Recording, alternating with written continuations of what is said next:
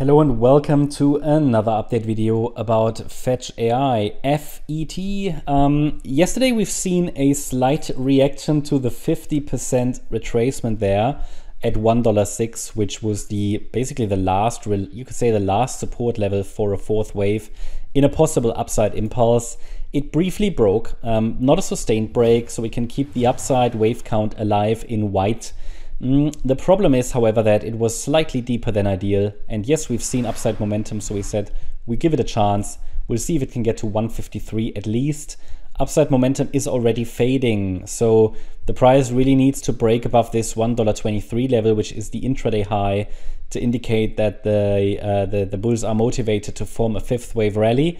That's still what I'm watching for. Um, I have limited trust in this structure because the wave 4 is slightly deeper than ideal but still we can watch for it. If we get five waves up, at least we will have the next setup because after a five wave move up, we get clear parameters and we can then say this was maybe a wave one. We'll add the support for the wave two to the chart.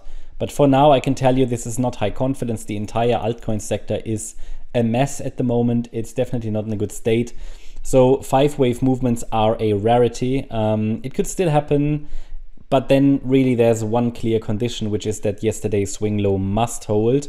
And it is at $1, well, it's actually just below $1.06 there, pretty much $1.05 region. Um, that needs to hold. Any break below that level, and I would not call that a wave 4 anymore, I would then assume we have topped in a three-wave structure and it will become much more likely that we will test the 52 cent level, which would mean one more low.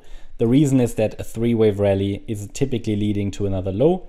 We had three waves here, three waves here, three waves here, three waves here, and they typically lead to another low. It just means that the correction is set to extend. The correction is still intact. You know, the larger correction that started in March WXY structure and then in the Y wave an A, B, C pattern.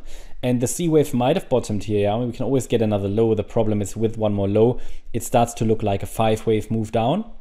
And if we then see a break below 52 cents, which is the last support really that I have available for this larger fourth wave on the larger time frame. By the way, in yesterday's video, I looked really at the larger time frame as well.